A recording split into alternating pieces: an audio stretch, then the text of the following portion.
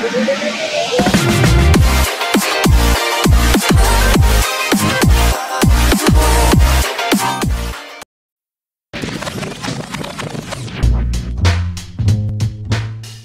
Falls is an outflow of an iron oxide-tainted plume of salt water, flowing from the tongue of Taylor Glacier onto the ice-covered surface of West Lake Bonney in the Taylor Valley of the McMurdo Dry Valleys in Victoria Land, East Antarctica.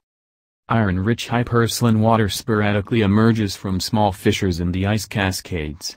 The salt water source is a subglacial pool of unknown size overlain by about 400 meters, 1,300 feet of ice several kilometers from its tiny outlet at Blood Falls.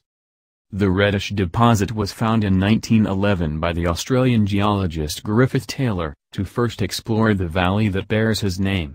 The Antarctica pioneers first attributed the red color to red algae, but later it was proven to be due to iron oxides.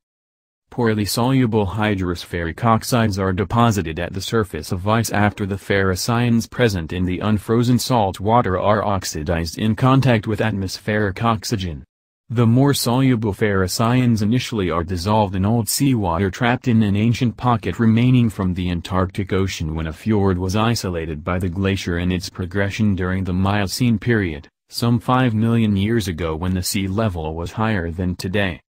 Unlike most Antarctic glaciers, the Taylor Glacier is not frozen to the bedrock, probably, because of the presence of salts concentrated by the crystallization of the ancient seawater imprisoned below it. Salt cryoconcentration occurred in the deep relict seawater when pure ice crystallized and expelled its dissolved salts as it cooled down because of the heat exchange of the captive liquid seawater with the enormous ice mass of the glacier.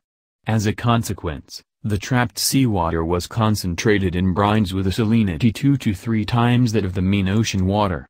A second mechanism sometimes also explaining the formation of hypersaline brines is the water evaporation of surface lakes directly exposed to the very dry polar atmosphere in the McMurdo Dry Valleys. The analyses of stable isotopes of water allow, in principle, to distinguish between both processes as long as there is no mixing between differently formed brines. Hypersaline fluid, sampled fortuitously through a crack in the ice, was oxygen-free and rich in sulfate and ferrous ion. Sulfate is a remnant geochemical signature of marine conditions while soluble divalent iron likely was liberated under reducing conditions from the subglacial bedrock minerals weathered by microbial activity. Yeah.